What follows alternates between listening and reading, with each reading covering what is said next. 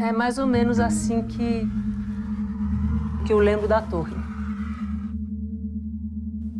O que, que é a prisão?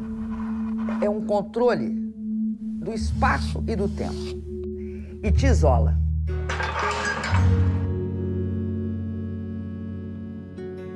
Nós precisamos manter a moral diante do inimigo. Nós não estamos derrotados aqui, nós estamos presos.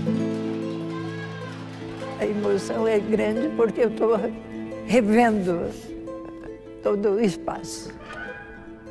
Talvez estranho dizer isso, mas a prisão com os seus companheiros, seus pares, é um momento de recomposição pessoal, de superação.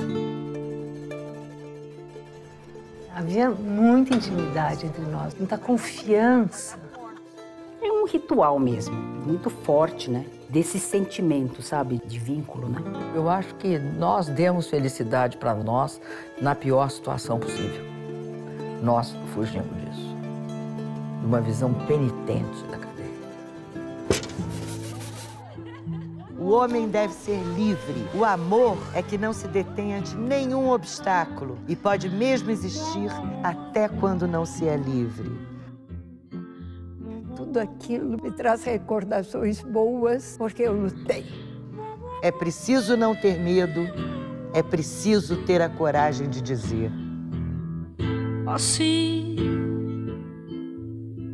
eu estou tão cansado. A pior coisa que a cadeia possa fazer com alguém é tirar o futuro dela. Mas não pra dizer Não é admissível. que eu não acredito mais em você. Você não pode ser personagem de uma epopeia só.